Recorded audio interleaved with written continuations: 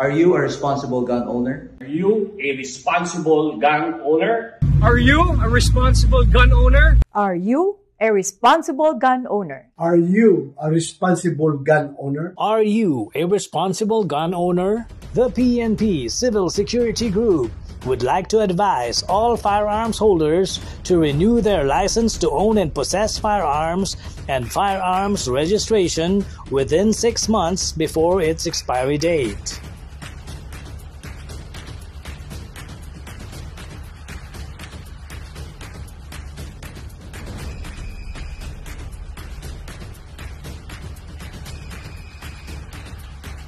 Tumawag na at makipag-ugnayan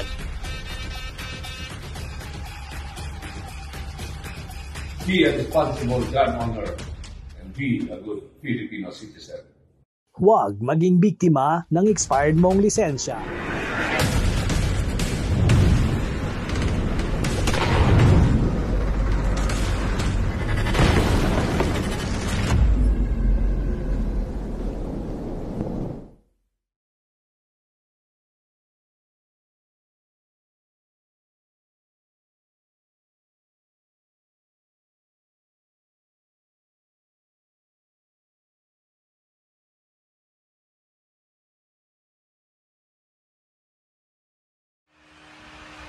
Ayan, may maliit na lobo, no? Yan, ha? From Totoys Toy Balloon.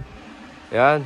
Ang gagamitin natin ay CC75 SPO1 Shadow. Yan. Tingnan natin kung tatamaan natin itong kolokoy na lobo na to, no? Alright. Noel Fire, are you ready? Stand by. Up!